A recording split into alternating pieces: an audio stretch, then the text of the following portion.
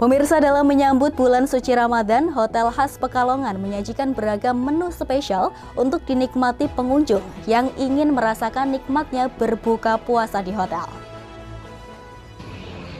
Menyambut bulan suci Ramadan, Hotel Khas Pekalongan menyajikan beragam menu spesial untuk dinikmati pengunjung yang ingin merasakan nikmatnya berbuka puasa di hotel.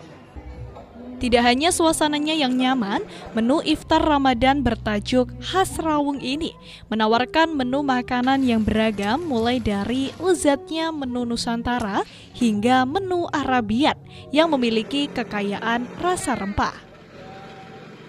Tidak hanya itu, pengunjung yang membawa buah hati juga tidak perlu khawatir karena Hotel Khas Pekalongan juga menyiapkan Kids Corner yang menyuguhkan jajanan anak yang nikmat seperti pukis, telur gulung, waffle, es kulkul, hingga arum manis.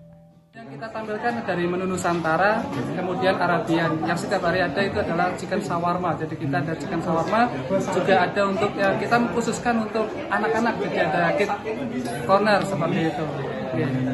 Mungkin untuk tradisional sendiri atau khas Pekalongan sendiri yang akan ditampilkan mas apa aja? Jadi untuk tradisional kita kan kita juga mengadopsi dari Arabian juga.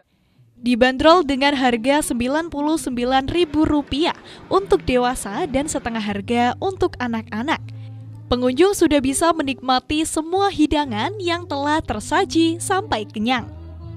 Tidak hanya memakan makanan berat dan jajanan saja, segarnya aneka takjil juga siap menyegarkan dahaga untuk Anda yang memilih berbuka puasa di hotel khas Pekalongan.